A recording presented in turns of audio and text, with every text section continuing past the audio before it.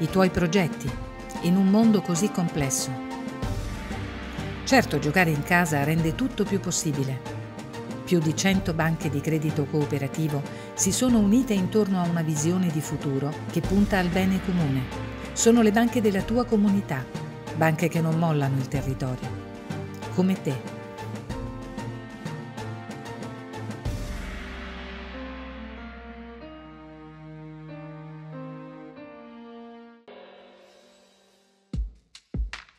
Quali previsioni per la ripresa dell'economia in Italia e nei nostri territori? La velocità della ripresa sarà direttamente proporzionale alla capacità dell'Italia di uscire dall'emergenza sanitaria. Stati come gli Stati Uniti, l'Inghilterra, Israele e anche la Cina sono l'esempio lampante di questa strada.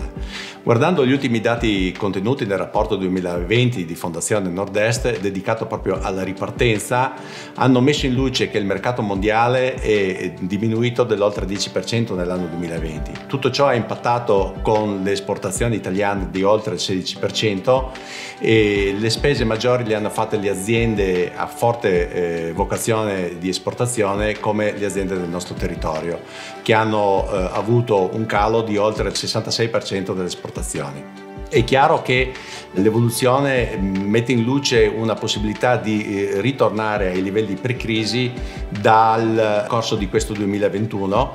E ciò nonostante i nostri imprenditori per oltre il 70% immaginano che questo recupero di crisi avverrà solo nel 2022, senza togliere però che il mercato legato agli alberghi e al turismo avrà una eh, ripercussione che durerà molto di più. Ci sono dei settori economici che sosterrete con più determinazione o che hanno necessità di misure specifiche? In questi mesi la nostra banca ha dimostrato con i fatti di saper essere vicina alle imprese e alle famiglie colpite dall'emergenza sanitaria. Tutti insieme abbiamo saputo fare squadra e ci siamo focalizzati sulla necessità di agire con velocità e concretezza, creando vere e proprie opportunità accessibili con percorsi semplificati e finalizzati soprattutto a salvaguardare il tessuto imprenditoriale, sociale e locale, affinché tutti possano avere un futuro nel mondo post-Covid.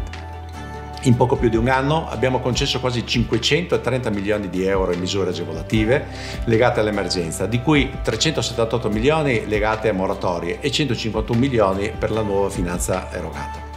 Un dato importante poi riguarda anche le moratorie e quindi le sospensioni di mutui alle famiglie e imprese. Circa l'80% riguardano richieste pervenute e accordate a attività manifatturiere, società di costruzioni immobiliari e operatori del settore del commercio. Dal punto di vista operativo ci siamo invece impegnati a dare avvio con tempestività a misure previste dai decreti Cura Italia e Liquidità e altri interventi promossi in autonomia oppure insieme al nostro gruppo bancario cooperativo ICREA. Ed è su questa strada che noi vogliamo proseguire nel corso del 2021. Ancor più, da Banca del Territorio quale siamo, ci siamo impegnati per siglare numerosi protocolli d'intesa promossi dalle amministrazioni locali con l'obiettivo di erogare ossigeno e sostegno economico soprattutto ai piccoli operatori economici, che più di altri hanno subito effetti recessivi dalla situazione emergenziale. Tra questi eh, ricordiamo recentemente l'accordo siglato con i comuni di Portuaro e di Cavallino Treporti per assicurare insieme a Confidi e alle associazioni di categoria particolari condizioni e garanzie di accesso al credito per le imprese del nostro territorio. Un altro capitolo importante riguarda il super bonus per l'edilizia. Ci siamo già attivati stipulando diverse convenzioni operative con i partner locali di categoria come Confartigianato e primari operatori locali e stiamo con essi affiancando tutti i nostri clienti supportandoli